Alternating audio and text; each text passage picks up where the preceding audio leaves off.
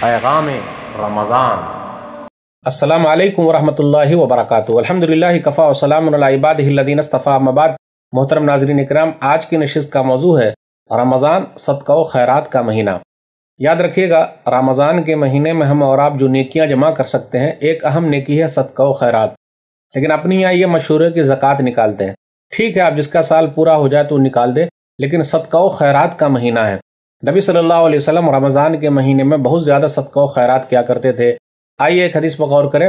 صحیح بخاری کتاب الصوم، کتاب نمبر تیس، باب نمبر سات، حدیث number one nine zero two عبداللہ بن عباس رضی اللہ تعالیٰ عنہ کہتے کان نبی صلی اللہ علیہ وسلم اجود الناس بالخیر وکان اجود ما یکون فی رمضان حین یلقاہ جبریل وکان جبریل علیہ السلام یلقاہ کل لیلت فی رمضان حتی ینسلخ یعرض علیہ النبی صلی اللہ علیہ وسلم القرآن فإذا لقيه جبریل علیہ السلام کان اجود بالخیر من الریح المرسلہ عبداللہ بن عباس رضی اللہ تعالیٰ عنہ کہتے ہیں کہ نبی صلی اللہ علیہ وسلم سب سے زیادہ صدقہ و خیرات کے اعتبار سے لوگوں میں سخی تھے، بہت زیادہ صدقہ و خیرات کرتے تھے اور رمضان میں اور زیادہ کرتے، کیونکہ جبریل امین سے آپ کی ملاقات ہوتی۔ جبریل امین نبی صلی اللہ علیہ وسلم سے ہر رات میں رمضان میں ملتے تھے اور نبی صلی اللہ علیہ وسلم انہیں قرآن سناتے۔ پتہ یہ چلا جبریل امین پہلے حافظ قرآن ہے اور نبی صلی اللہ علیہ وسلم دنیا کے اندر پہلے حافظ قرآن ہے۔ یہاں تک کہ رمضان کا مہینہ ختم ہو جاتا اور نبی صلی اللہ علیہ وسلم تیز ہواؤں سے بھی زیادہ صدقہ و خیرات کیا کرتے تھے۔ تو میرے بھائیوں رمضان کے مہینے میں صدقہ و خیرات کیجیے، افطاری کیجیے، افطاری کروائیے، افطاری کا سامان بھیجیے سحری کیجیے، سحری کروائیے، سحری کا سامان بھیجیے صدقہ و خیرات کرنا بہتر ہے۔ اگر ہم اور آپ مال خرچ کریں گے تو اللہ ہم پر مال خرچ کرے گا۔ حدیث کے اندر آیا، صحیح بخاری کتاب التفسیر، کتاب نمبر پینسٹھ، حدیث number four six eight four انفق انفق علیہ یہ حدیث قدسی اللہ نے کہا، تم خرچ کرو، میں تمہارے اوپر خرچ کروں گا۔ تو بخیلی مت کیجیے، بلکہ خرچ کیجیے۔ اور خرچ کرنے والوں کے لیے فرشتے دعا کرتے ہیں، اور جو خرچ نہیں کرتے، فرشتے اس کے لیے بد دعا کرتے ہیں۔ تو بھلا بتائیے دعا لیجیے گا یا بد دعا؟ صحیح بخاری، کتاب الزکا، کتاب نمبر چوبیس، حدیث number one four four two ابو حریر رضی اللہ تعالیٰ عنہ سے روایت ہے، نبی صلی اللہ علیہ وسلم نے فرمایا، ما من یوم یسبح العباد فی الا ملکان ینزلان۔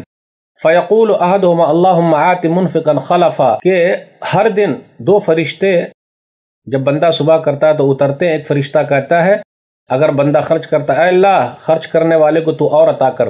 ویقول اللہ خر اللہم آت ممسکا تلفا۔ اور جو دوسرا خرچ نہیں کرتا، تو وہ فرشتہ کہتا ہے کہ اے اللہ، اس کے مال کو تو چھین لے۔ اس لیے میرے بھائیو، صدقہ و خیرات کیجیے۔ رمضان کا مہینہ صدقہ و خیرات کا مہینہ ہے۔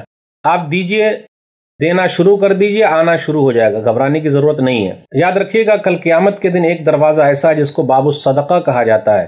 اور جنت کے اندر باب الصدقہ سے صدقہ والے دروازے سے بلایا جائے گا۔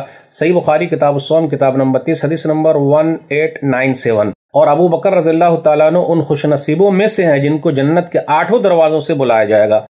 اس لیے نبی صلی اللہ علیہ وسلم نے کہا تھا ان کے لیے، جب ابو بکر صدیق رضی اللہ تعالیٰ نے پوچھا بی ابی انت و امی یا رسول اللہ، ما علا من دوئی من تلک الابواب من غرورت فہل یدع احد من تلک الابواب کلہا کیا جنت کے آٹھوں دروازوں سے بلایا جائے گا؟